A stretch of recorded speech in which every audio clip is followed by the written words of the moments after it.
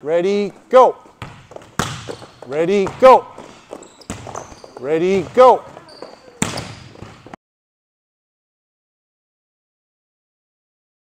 Now everybody should have your left shoulder pointing to this wall behind me. So everybody should be facing that way. Everybody's open. So you got full motion to really hit that ball smoothly. Okay, now tee up the ball. Okay, so this should be at the highest point. Your left shoulder should be higher than your right shoulder. And then your right elbow's back and your palm is out. Hit the ball and smoothly get to the top and snap so that by the time you finish, the ball should come back to where you are slow and smooth. Just really smooth it out.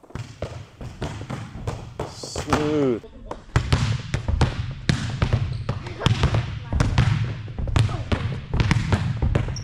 Oh, that was so cool.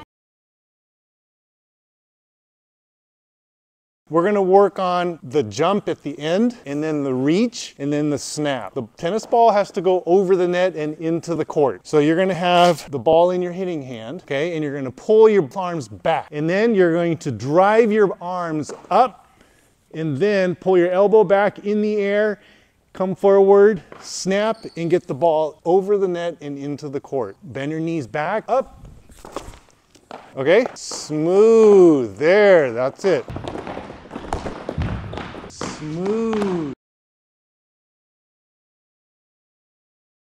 Now you have less room. You still have to land the ball between the net and the cones. Make sure it gets up high enough so you have plenty of time to get your elbow back. And then smooth it out and at the peak, snap. Okay, make sure you snap at the high point. Can I try it? Here we go. Smooth. Ooh, okay. Okay, so it can be done. Make sure you flick and get that ball up and then elbow back. Yeah flick, elbow back.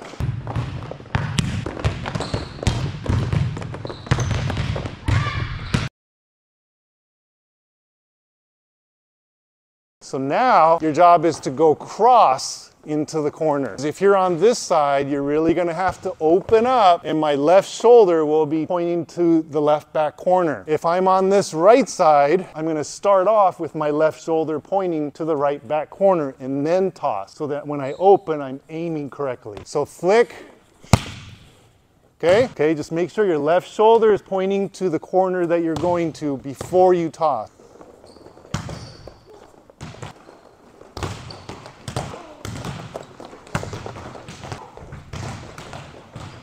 Oh, yeah, that's it right there. So you're going to be facing the right side. You're going to self-toss and then hit. There, next up. Okay, so grab a ball. Work on the snap all the way through.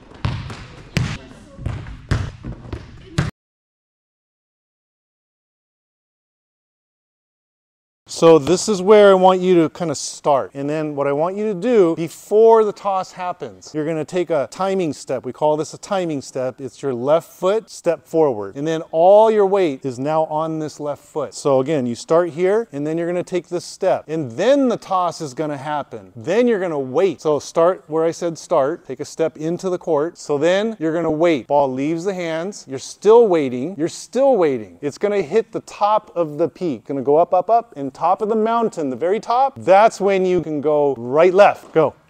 Right, left. Got it? The last two steps are going to go very fast, and then you get up and hit. After the ball is tossed, how many steps do you get? Two only.